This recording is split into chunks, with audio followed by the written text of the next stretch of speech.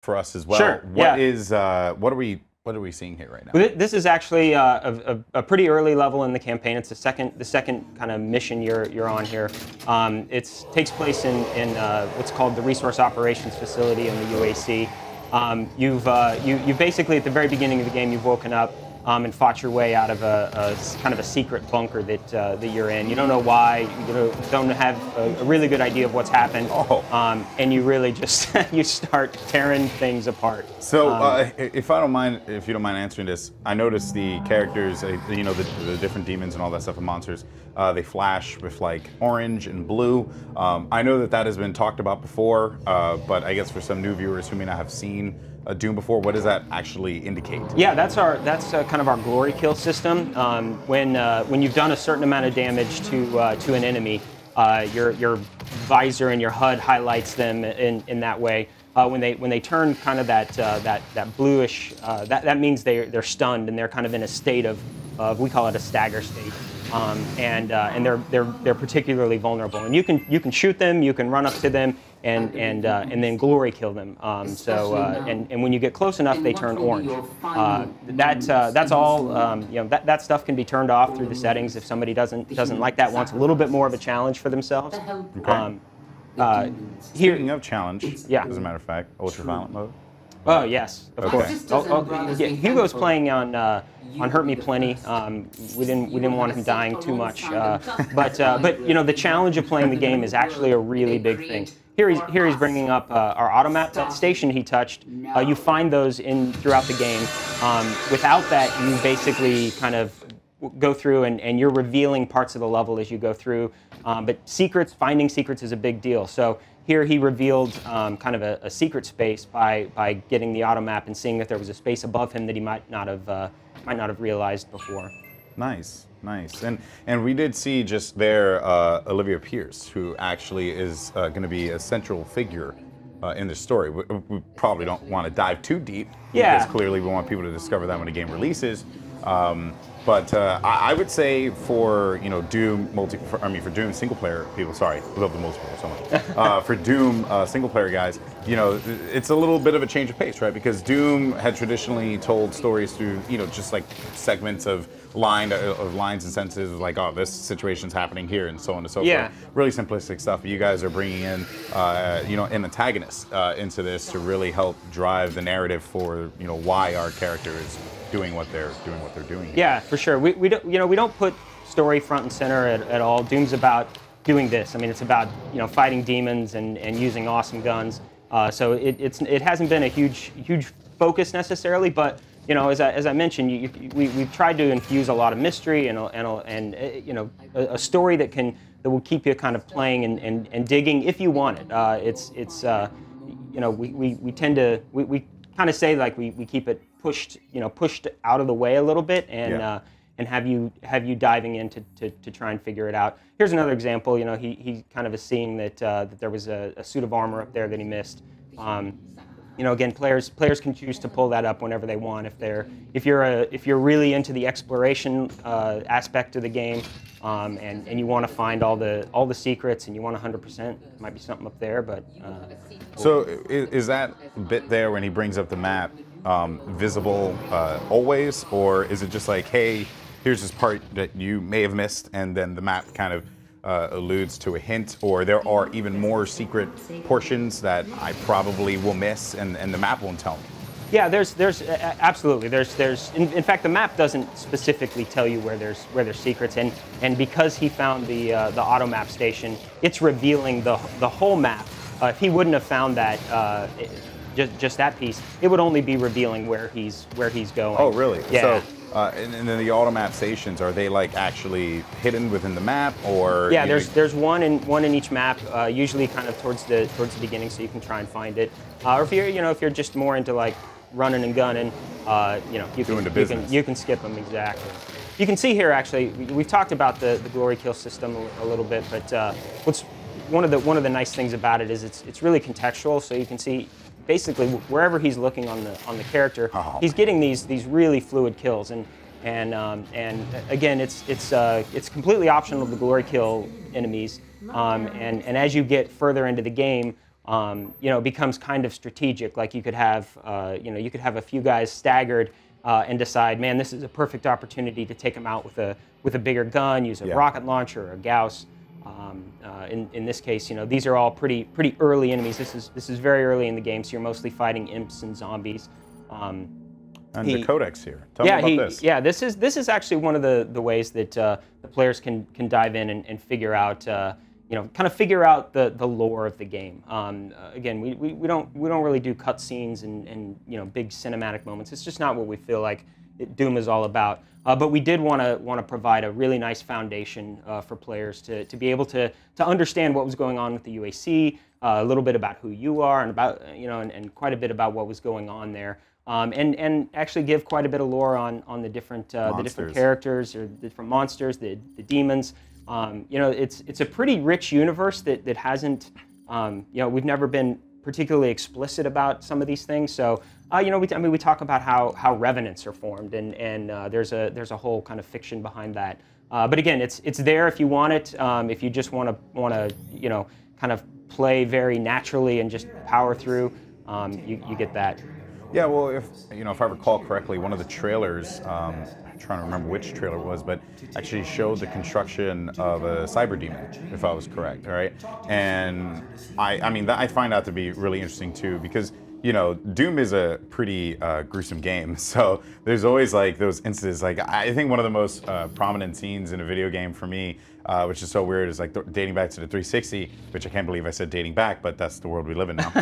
um, where I, I think it was uh, Quake 4, I want to say, when like you're going through the the, the I guess construction process Sure. of, of like your legs being Yeah, like ripped up. and- process. Yeah, and I was just like, oh my god, this is crazy, you know. And and I and I actually think that that is a pretty cool element that you guys are bringing into Doom. You're really uh, trying to highlight the the gruesomeness, while at the same time not really uh, trying to throw like you know crazy amounts of story in your face. And and and I also appreciate that it's not uh, shock value, right? It's more like I have giant guns.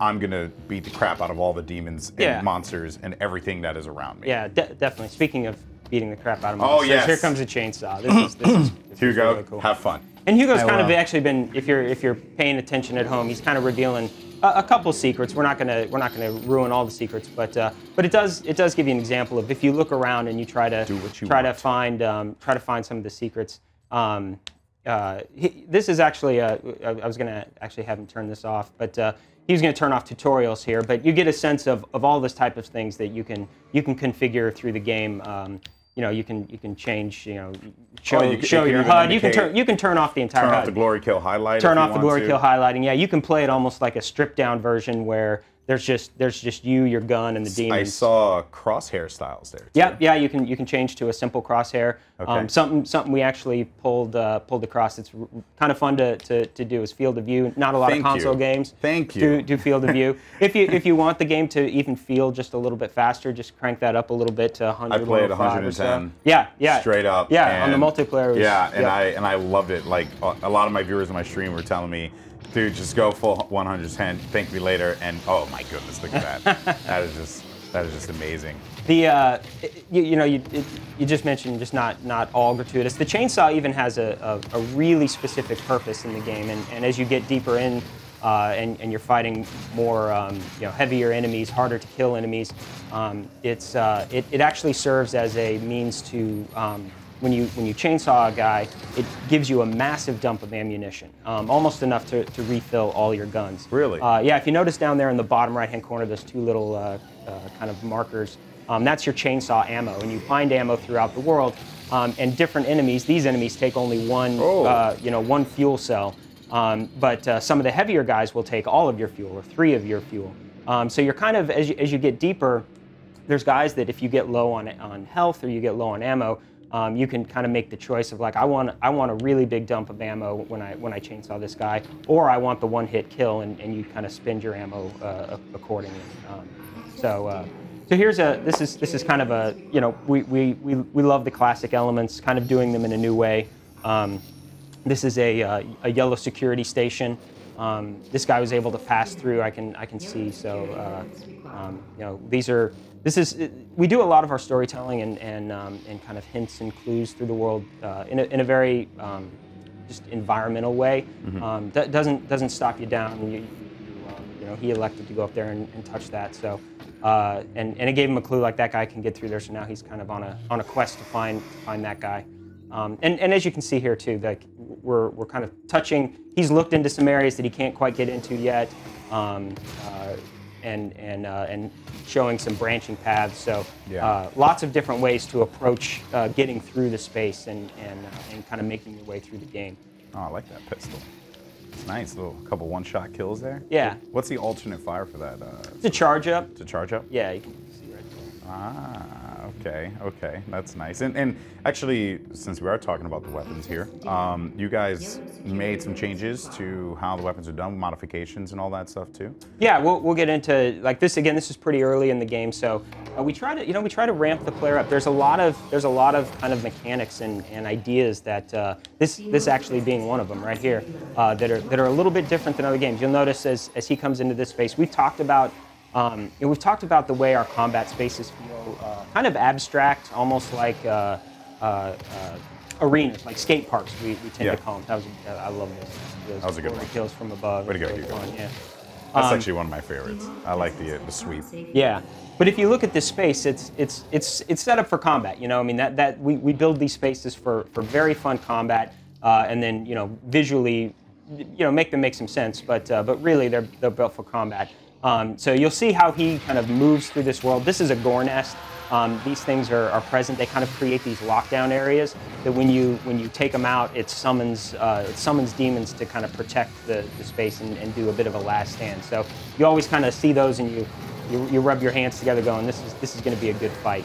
Um, again, this is pretty early in the game, so uh, a lot of a lot of enemies that uh, uh, you know, kind of on the on the smaller side, um, but uh, but very acrobatic. That's, that's one of my favorite glory kills. right Oh, there. dude, look at you. It's almost like you've done this before, Hugo. this is uh, this actually looks pretty cool here, and, and, and yeah, this this section is pretty gruesome. Oh, my God. Oh no way! Blew himself up. You had one job. That's right. Sorry. You had one job. he'll, he'll get back to it. This this arena is really really fun. It's it's Yeah. uh, at this point in the game you've actually played through uh, a few arenas. Um, there's some there's as you kind of have crossed the Martian surface at the very beginning in the in the in the first uh, mission. Um, we we kind of ramp you up again. There's it's it it plays really different than a lot of modern shooters. Um, you know we we've said uh, you know kind of throughout the campaign. Uh, that if you if you stop, you're dead. I mean, it's it's all about movement. Well, I and- got and I got caught in a corner there. That's when I died. You yeah. got caught in a corner. It was a grenade to your feet.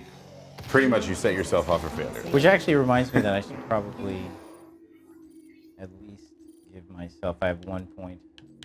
So, Okay, uh, so what are we seeing here? Yeah, right here. This is um, uh, this is our kind of uh, Praetor suit upgrade. So uh, the the suit that you wear is called the Praetor suit. We talk a little bit about that in the lore, but um, but what he's kind of diving through here. Why don't you bring those back up real quick so so we can explain them. Um, this is uh, this is where you upgrade. As you can see, right now he only has the pistol and the and the shotgun. Um, and uh, and he's already received uh, two modifications to the shotgun. So the each gun has kind of a base capability that you that you use with the right trigger, and then uh, as you explore the world, you find these supply drones. Yeah. They scan your arsenal and give you options uh, to to uh, to attach a mod to this. So uh, for the shotgun, he's already found the charge burst mod and the explosive shot mod. Um, and uh, and then there's upgrades that you can earn through these uh, upgrade points uh, that you earn all different ways: combat, exploration, uh, and that kind of stuff. Um, and what's nice about these is is you actually don't have to follow the strict progression. You can like if you jump down, he could he could choose any of those open slots. Um, uh, and then and then once you've unlocked those three, you then get uh, the a challenge that'll allow you to master the gun. Um, and it and it really creates this. Um, this nice progression. Now, Doom has always been about, well, then I'll, I'll explain this so you can get back to gameplay. Um, so his Praetor suit um, has these different categories of upgrades. You get these these points um, through finding, um, through a lot of exploration, you, you find um, these elite guards that have this chip in them, and you get to spend that on your own suit. Um, so here he's going to upgrade his dexterity or his environmental resistance, area scanning, equipment systems, uh, and and allows you to to, to kind of hone, hone the gameplay to, to your specific preferences. Yeah, and I Um, noticed he basically had one slot on on three categories there. Yeah, yeah, exactly. Uh, and and that, that's a that, that follows a, a, a path. So you know, you kind of spend it however you want. If you want to, if you really are, are, are, the kind of player that loves to find secrets, there's uh, there's upgrades that allow you to, to do that more easily. Um, if you love the equipment system, um, you can continue to upgrade that. Um, if you want a faster experience, your dexterity stuff is really, really fun to make uh, glory kills faster as you play through the game. Um, and you know, D Doom has always kind of been this uh, this escalation of, of guns and demons. So you just you kind of take one step on the ladder, and then the demons take one step up, and yeah. then you take one step up.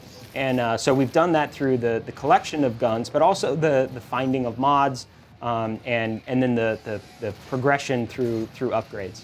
Yeah, and I'm noticing that too, right? He, he went after the, uh, you know, that particular with the gore segment. Yeah. And uh, you know the the monsters that are popping out, uh, you know, aren't your you know big monsters at this point in time, right? It, it, I could see that ramp up potentially happening, and makes me even more excited Yeah. for what the uh, what the future levels are going to look like because I yeah. can only imagine how ridiculous it gets. And and uh, something I, of course, don't. Oh, nice! Look at that right there. Just hit him with it. Uh, so uh, something I did want to know is about maybe see there the potential dump. uh, Yeah. new demons and new monsters. Is that like something we could see, or are you guys sticking to the core? Uh, and what people love, and, and, and the and the monsters that have been around. A, a lot of the core, but but we do have we do have some surprises in there that I think people will enjoy. Ooh, um, we're, right. we're, we're trying we're not we're trying not to give too much away. No, it's perfectly Um, fine. But uh, I- but yeah, we've we've uh, we've, we've got some uh, yeah some some some fun stuff in there. Nice. Um, uh, but you know, I mean, it, it kind of go, going back, we we. Uh, to, to your to, to an earlier question about it, you know, just being Doom, we, we really did want to. Um, we, we did want to start, uh, and, and we really do look at this as a foundation we can build on in the future. We really hope to build on. Um, we did want to start with the things that people love and we love, you know, so like Pinky Demons and Cacodemons, um, uh, Hell Knights, Barons. So you'll see a lot of that stuff in, in here. Um, this is, again, just a, another little clue of following the, following the guy you're looking for. yeah, That's Um, my that's my yellow key card basically. that's your like that's your yellow key card. Yeah, kind of a new take on, on. Yellow Key Card. Okay, okay, that's cool. So now, speaking about uh, the missions too, um, you know, of course, uh, the community has a very deep appreciation for all the you know various missions, and you know, like they play them over and over again and find new ways on how to you know improve on their whether it be their strategy, their approach, or just enjoying the design of the levels. Because uh, if that's actually the one thing that I've noticed a lot about the Doom community, because I've been reading a lot of the Doom subreddit, uh, various Doom community sites, and um, what I thought was uh, pretty cool was really seeing the appreciation that these guys have for uh, game design and Yeah. the approach. And I think you you touched on that a little bit, saying like, you know, this area here is built for combat, right? And like, you know, and, and you layered it, and and of course, I'm fully expecting the community when the game comes out to deep dive and break down every single detail. Um, so with that said, speaking of like what people can expect when they play uh, the missions and, and whatnot, how long can they expect each mission to be? Is it just cater to how long you want to take? Like if I run through everything like a crazy person, uh, like how long would I like the average time from start to finish for each mission? You know, I, I, it, it really depends on how you play and, and how much time you spend. Uh, you know, most of our most of our play tests, we, we do focus tests at the, at the studio. Most of our focus tests for new players who kind of their their first run through uh, of the game, if they're looking for a moderate number of secrets and trying to you know trying to upgrade their guns and that kind of thing. Um, it's it's in the 13 to 15 hour range to get through on on a on a normal Wow. difficulty setting. Okay. Yeah. So so And then know, that probably scales up as you yeah, you know, I mean, if you if you go to ultraviolence, it really changes the way you play and and, and your strategy. Um, and uh, uh, but then you know you can you can you can you can move through it uh, if you play on an easy skill level and just kind of like blow through it. You can get through it, uh, you know, quite a bit faster. We'll do speed runs that uh, um, that, that kind of go a little bit further. We're going to actually jump ahead